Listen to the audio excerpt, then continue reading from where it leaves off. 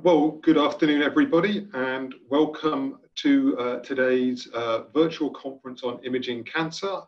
Uh, my name is Erik Sahai, and I will be uh, chairing uh, the first part of this, and then I will hand over to one of my colleagues, uh, Sarah Bohndiek, who will chair the second part of this session. Before we get started with the sort of exciting scientific talks, I'd like to make a few introductory remarks. The first is to say that this is a program that has been put together by the European Association for Cancer Research and the European Society for Oncologic Imaging. And um, in addition to uh, myself and Sarah, uh, Heinz-Peter Schlemmer and Daniele Regge were uh, involved in the organizing committee for this meeting. So I'd like to uh, thank uh, my fellow uh, organizers before we get started. Um, the other thing to say is that we had been hoping to have an in-person conference uh, in September, but obviously the uh, situation with COVID has precluded this. So uh, we are running this uh, virtual conference today, and there will be an in-person conference uh, postponed by, I think, about 18 months or so.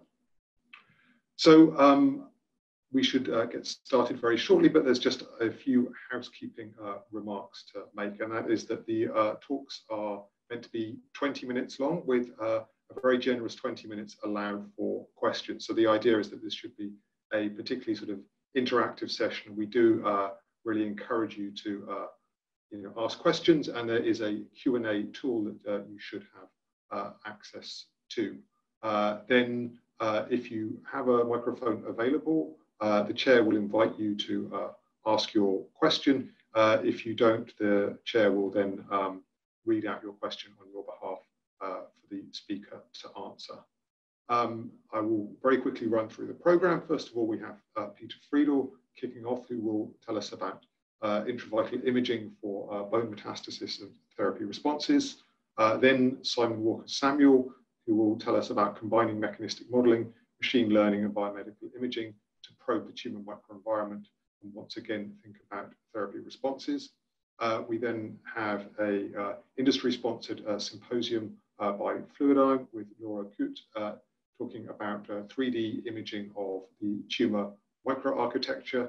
And um, there's a, a, you know, a new in innovation associated with this that Fluidigm will be hosting a virtual booth. And uh, Claire Sullivan from the EACR, who is uh, coordinating all of this afternoon's events, uh, should be able to help if there are any questions about accessing that. we then transition over to uh, Jason Lewis, who has very kindly uh, agreed to step in at rather short notice in place of uh, Julie Sutcliffe, and he will tell us about imaging serum biomarkers.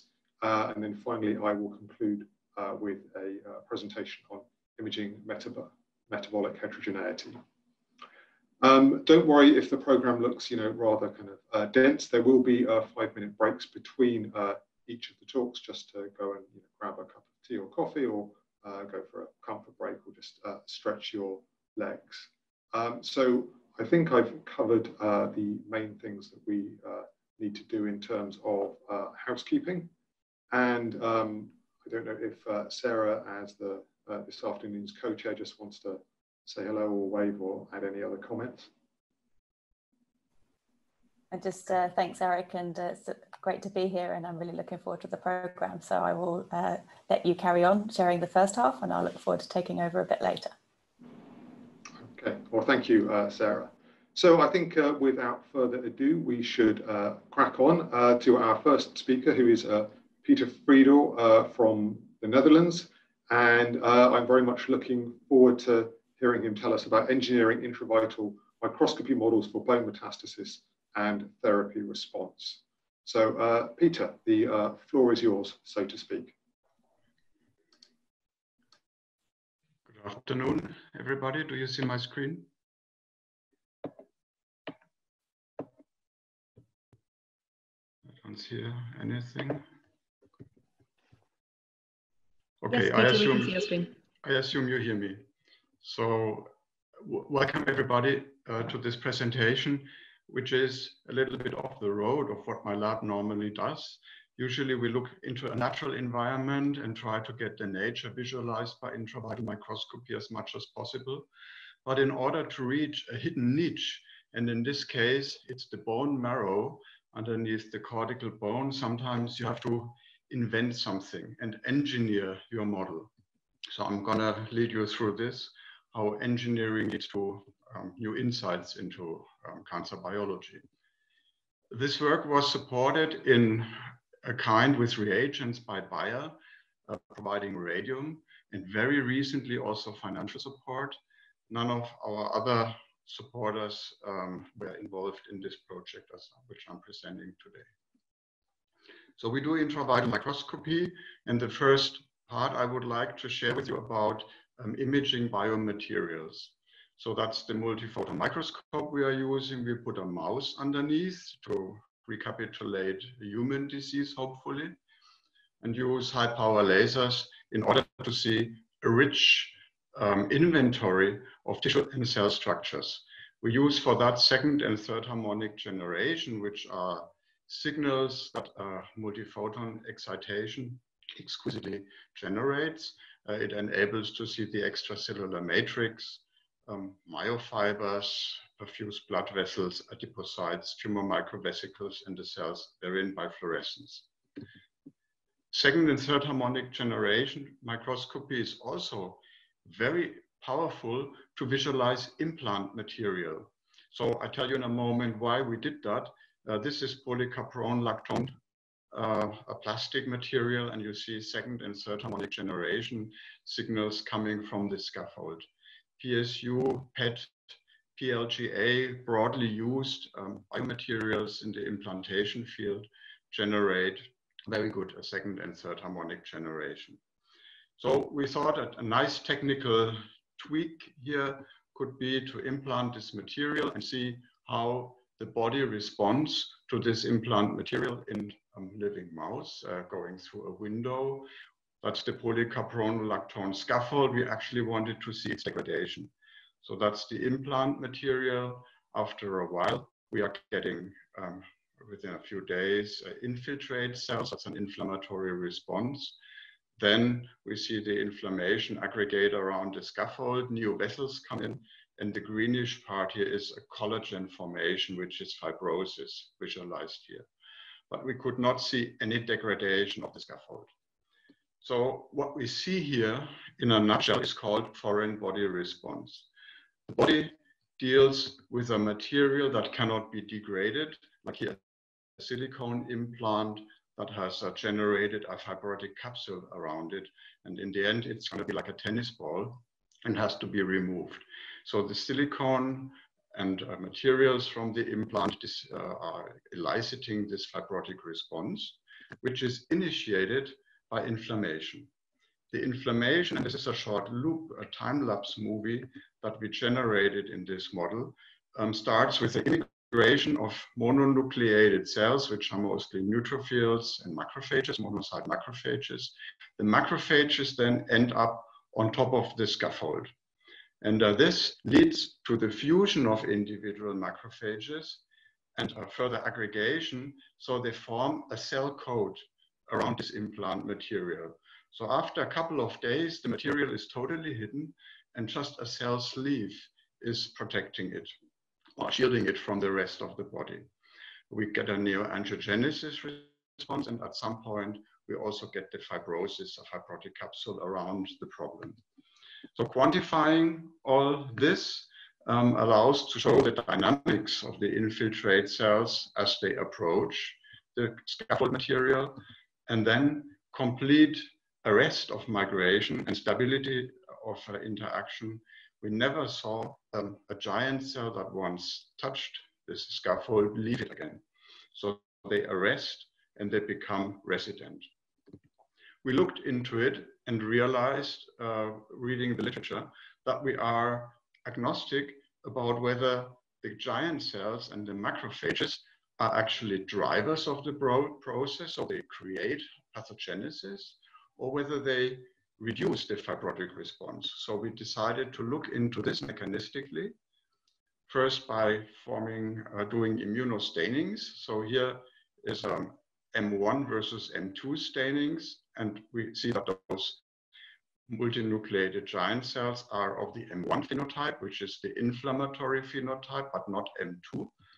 And moreover, these uh, multinucleated giant cells and also the macrophages release or produce VEGF, vascular endothelial derived growth factor A, which is driving angiogenesis. So it drives inflammation. And depleting the macrophages using clodronate liposomes, which kills the macrophages for a while, um, eliminates also the VEGF production in this area.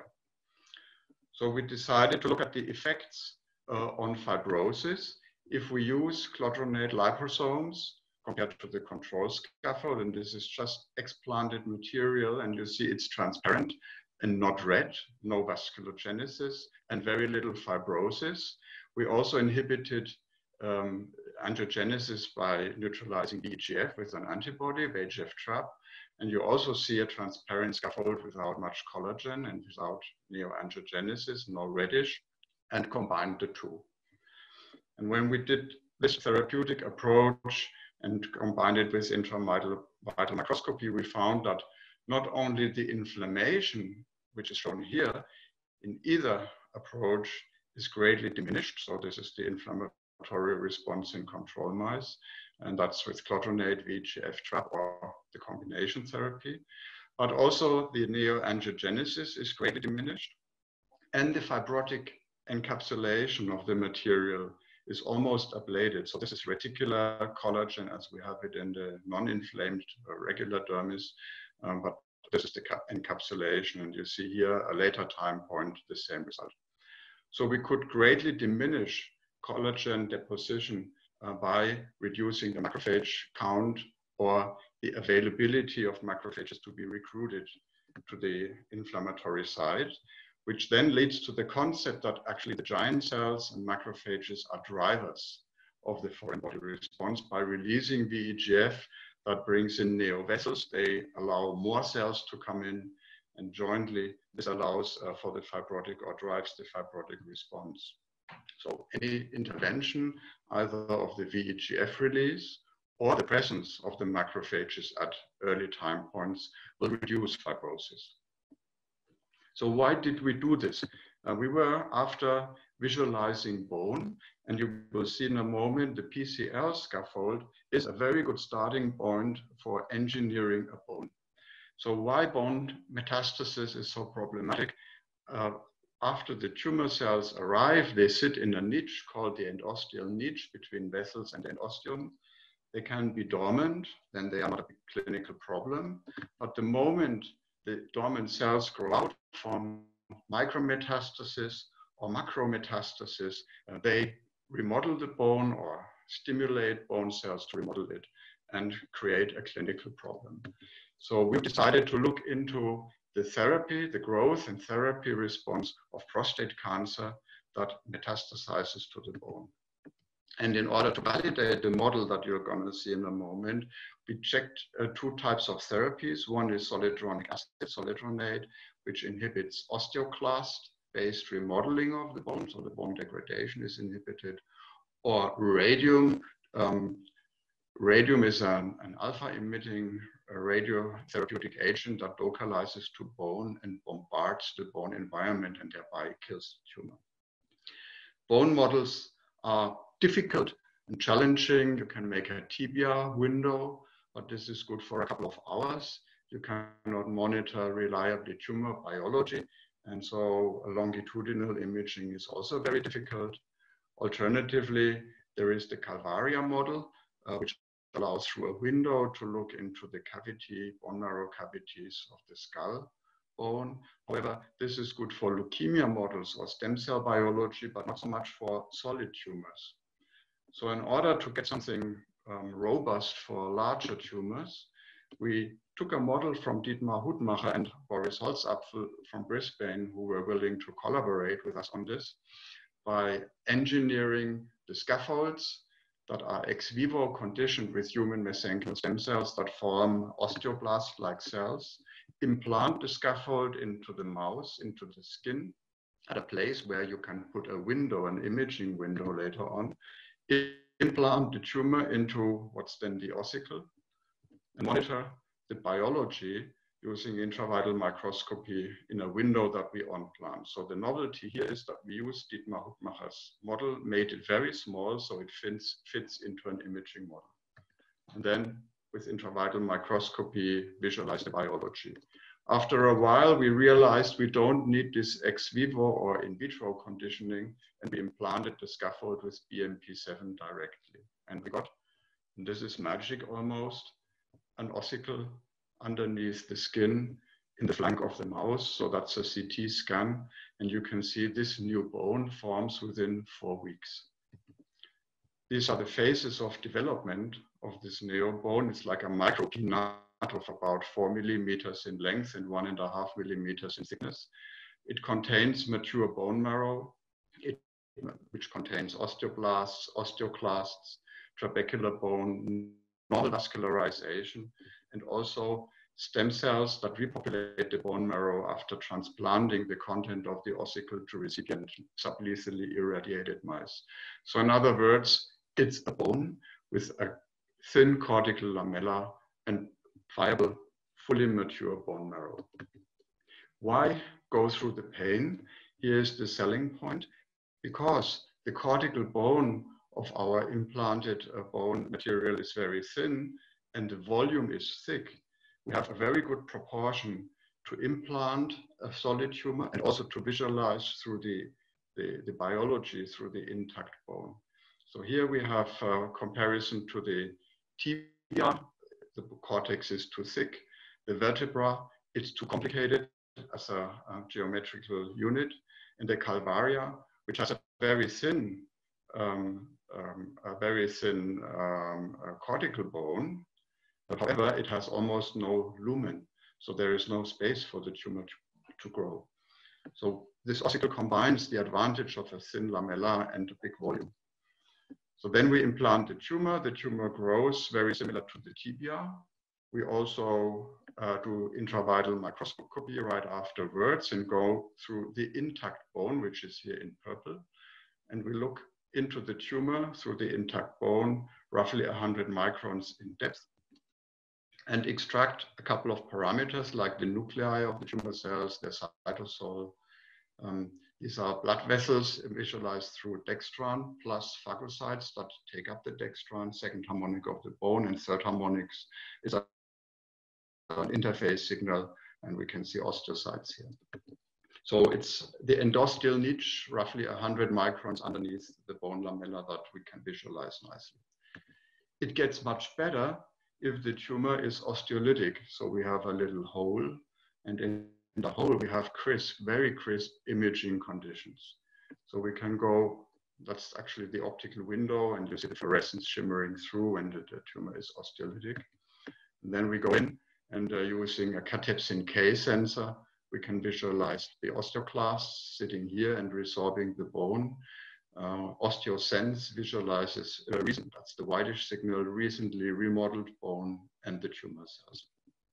This is the osteolytic interface by histology, and we also see the osteolytic tumor uh, bone interface by intravital microscopy. We benchmarked the dimensions and found that it's roughly a 50 micron uh, distance between the tumor compartment and the actual bone interface. And this is where the osteoclasts do their business.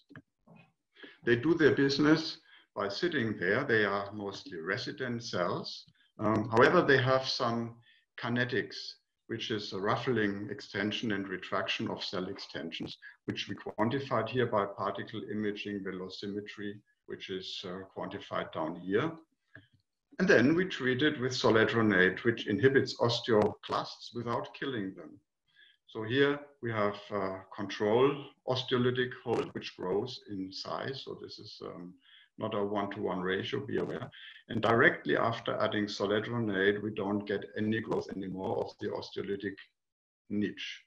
Um, so the lesion remains stable.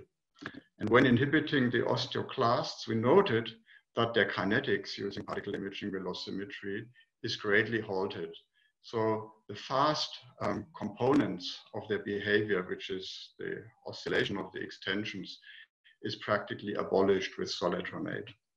This shows, it's shown in that movie. So here we, we have control overviews. It's a 40 minute loop. I apologize, it's pretty short, uh, but you can see a greatly dynamic overview in control situation and with bisphosphonate treatment, they are more or less frozen and more stable and more anchored to the bone.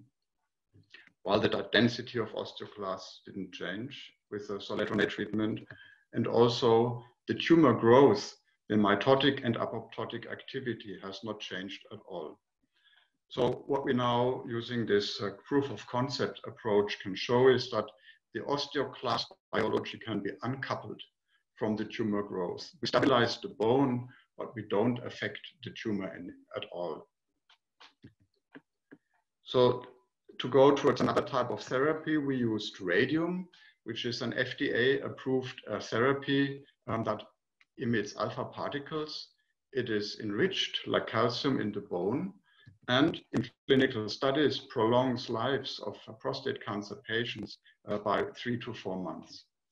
So we wanted to identify whether the options or the effects of radium are largely indirect, so it reprograms the stroma somehow and causes a growth delay, or whether it's directly toxic to tumor cells.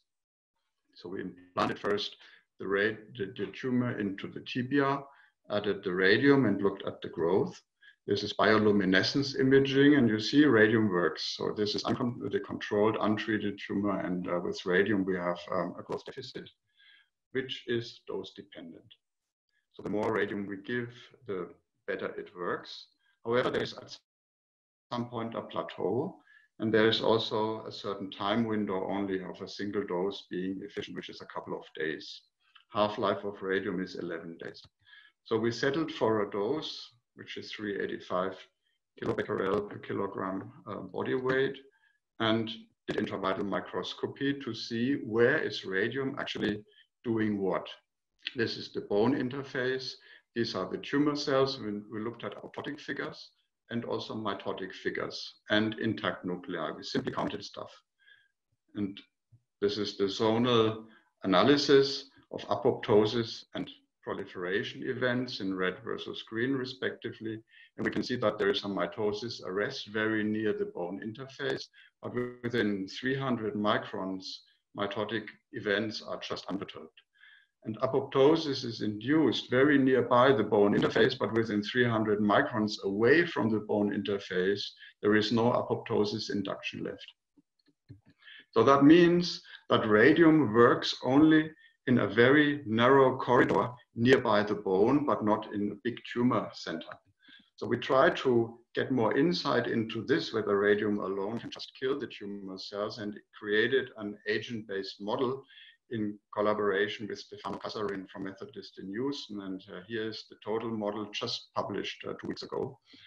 Uh, this model has been then allowed, uh, allowed us uh, to um, generate a tumor in silico, bombarded with radium, and monitor the zones that the radium, the differential therapy response that the radium induces.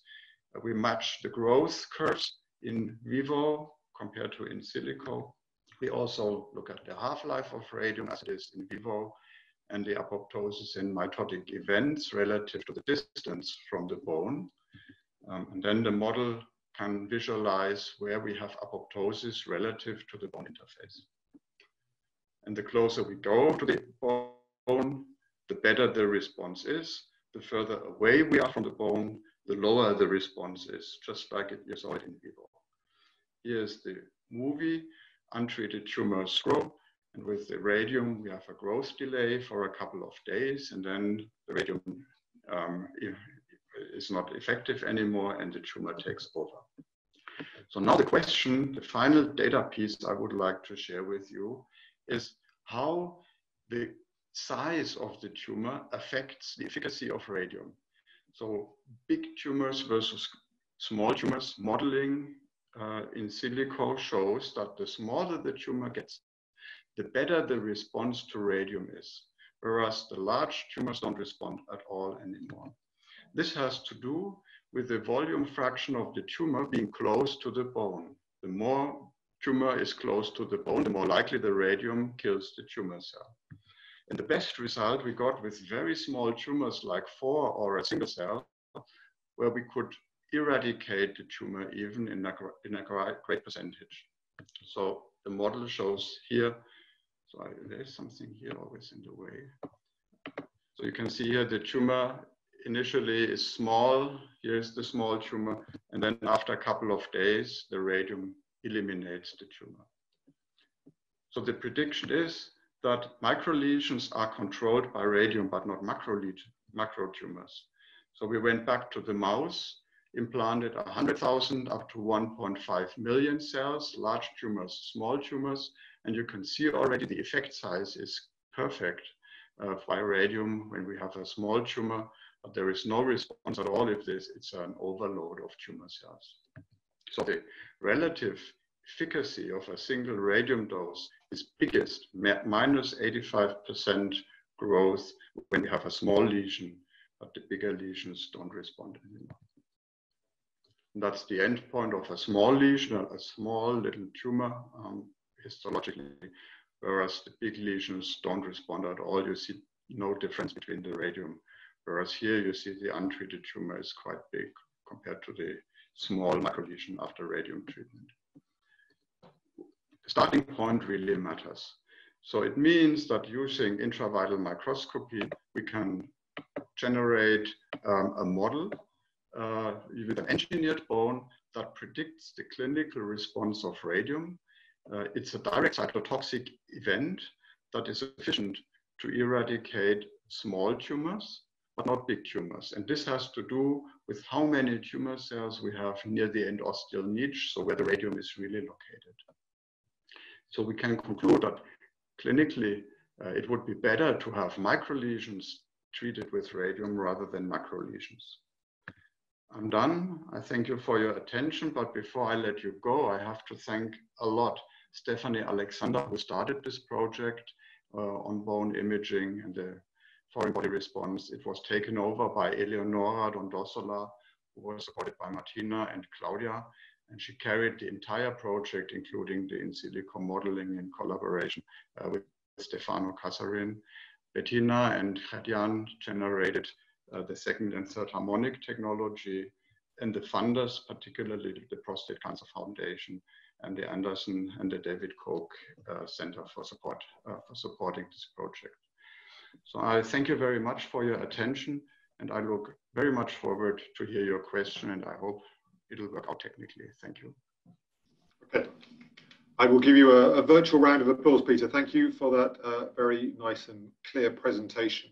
So we've got about 15 minutes for questions and uh, discussion. So I can already see that one question has come in and uh, I will read it out. It's from uh, Lila Ritsma. Um, and the question is, as radium eliminates mostly small tumors, do you think that radium might be a very effective way to eliminate uh, single dormant cells that reside in the bone marrow?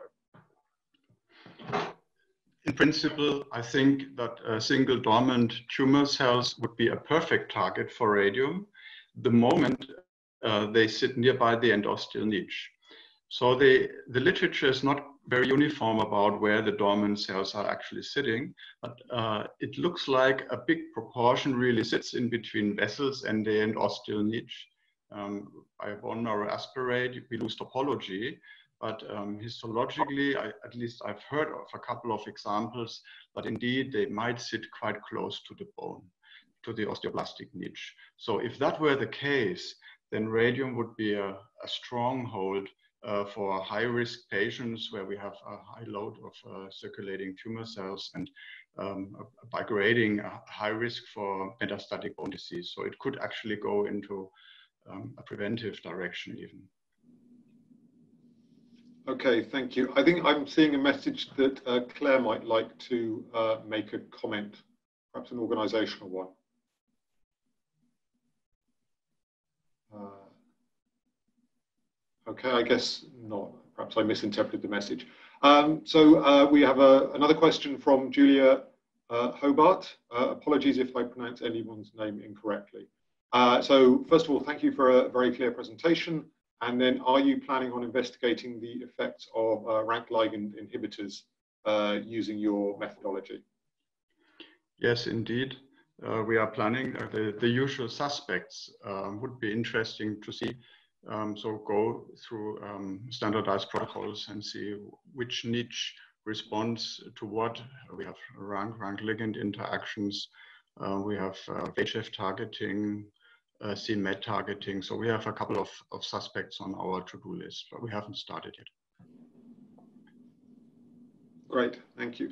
So I had a, a couple of questions. Um, so the first is, do you um, see a sort of a divergent fate upon the seeding of the prostate cancer cells, some of which kind of actively outgrow and some of which sit there as more indolent cells? Or do they all kind of outgrow in the same way? So maybe I should make a, um, a technical disclaimer here. What I just showed to you are implanted tumors, both for the tibia and for the ossicle. Um, we, we, started uh, looking at hematogenously originating microlesions and tumors in both the tibia model and the uh, ossicle, uh, but it's it's like finding and or trying to find a needle in the haystack because the cells arrive somewhere randomly, and it is very difficult to really get them by intravital microscopy. So I cannot answer any question about kinetics of recently arriving cells um, using intravital microscopy. For that, we'd have to invent yet another model that gives us a, a much stronger overview um, and large field imaging uh, of recently arriving cells in the, in the vasculature. So I'm, I'm sorry, I have no clue. Okay, thank you. Uh, there's another question. Um, I'm not sure if this person has a microphone. It's from Adele Zaid Ismail Mutaha. Uh, if you have a microphone, would you like to try to ask your question, Adele? Okay, I guess if not, I will read the question out. Uh, the question is, what about radium toxicity? Uh, I guess, does your model allow you to evaluate potential side effects of the therapy? Yes, absolutely. So in patients, radium is, is extremely well tolerated, surprisingly well tolerated. Very little myelotoxicity, very little bone marrow suppression. Um, however, also the prostate uh, specific, prostate specific antigen levels are, are, mostly unperturbed. So in patients, it's well tolerated. Uh, in the mice, uh, we have no side effects as far as we can tell, which probably has to do with the homing of the radium molecules exactly to the regions of bone turnover, like calcium would Uh, so um, other effects we are interested in, and Eleonora is pursuing this in an independent project at the moment, is about uh, general bone effects on the bone marrow. If you add radium to a non-tumor bearing bone or bone marrow, um, and uh, there is no clear answer right now, but uh, it's, it's in, in the making and we'll also have a look at how radium will perturb immunotherapy, targeted immunotherapy and cytotoxic effector function, whether it helps or not, and whether it can be combined potentially. So it's in the making, and uh, we hope in a couple of years we'll have good answers to this. All right, thank you. Um, I can see there's another question from Jennifer Ashworth. Um, and as she doesn't have a microphone, I will read uh, the question out. So uh, thank you for the talk. What do you think are the main mechanisms behind the decreasing effect of radium further from the bone? Is this due to uh, penetration into the tumors or other factors such as hypoxia in the tumors? Yeah, so I thank you for this question. I actually forgot to mention that alpha particles have a, a, a travel distance in uh, aqueous solution or in the tissue of roughly 100 microns one to maybe 200 microns. So the zone of direct cytotoxicity that we mapped by intravital microscopy is in perfect line with the predicted flight distance the alpha particles generate. We didn't, we were not able to visualize alpha particle flight travel distances uh, by intravital microscopy yet, but there are data from um, overlay systems with um, um, alpha particle sensitive films. Uh, and they also talk about 100 to 200 microns of travel distance. So we think that the, the limited um, space range of radium therapy has to do with the physical principle. It's not like gamma irradiation that flies through the tissue, the entire tissue, but it's really the, the short distance of alpha particles being effective in the tissue. And kind of linked to that question, do you have a, um, a kind of a smart way of evaluating hypoxia through intravital imaging? So there are a couple of probes um, around that you could use. I must admit that uh, none of them we found very satisfying uh, ourselves when we tried them.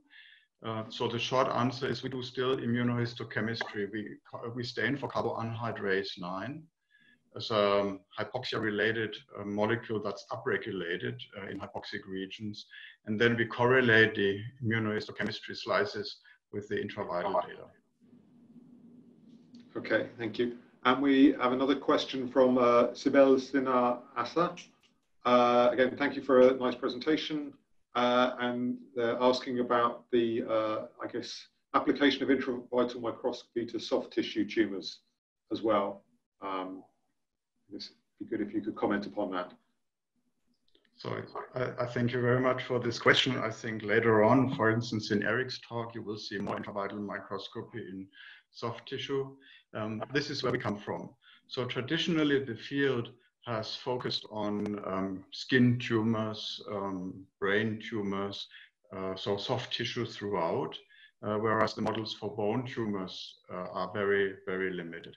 Uh, therefore, indeed, there is a wealth of literature on intravital microscopy in soft tissue tumors. Wherever you can put a window on the mammary gland, the pancreas, the liver, uh, you can see uh, the tumor biology directly. And uh, indeed, so if you're, if you're interested in that, just make a little Google search and you'll find hundreds of papers in that direction. And I guess perhaps if I could, you know, add a comment, I think uh, in, in, the tumor imaging field, we've also been taking a little bit of a lead, both from you know, the neurobiology community that has done a lot of pioneering work in intravital imaging of this sort, and also the immunology community that's done a lot of work on leukocyte trafficking and dynamics within in lymph nodes. Um, so uh, this type of imaging is uh, widely used for, for many diverse tissues, as Peter says.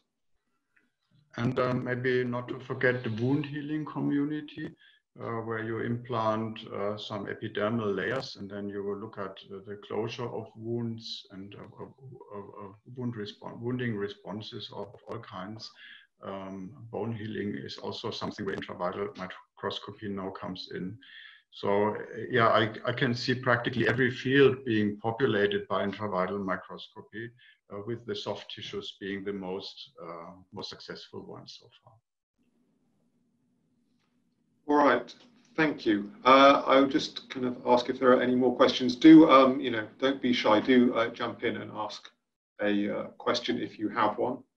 I'll just uh, see if anything pops up in the next 10 seconds. Um, if not, well then I'd like to uh, thank you again, Peter, for uh, such a stimulating and clear presentation. Um, and it's been good to see you virtually. Um, we now have a sort of, uh, I think, sort of six or seven minute break, which is a sort of opportunity to uh, stretch your legs. Please do come back in um, six or seven minutes so that we're all ready and uh, raring to go to hear from Simon Walker Samuel, who will uh, talk to us about combining mechanistic modeling, machine learning, and biomedical imaging to probe the tumor microenvironment and assess response to treatment. So uh, let's reconvene in six or seven minutes. Uh, look forward to catching up again then.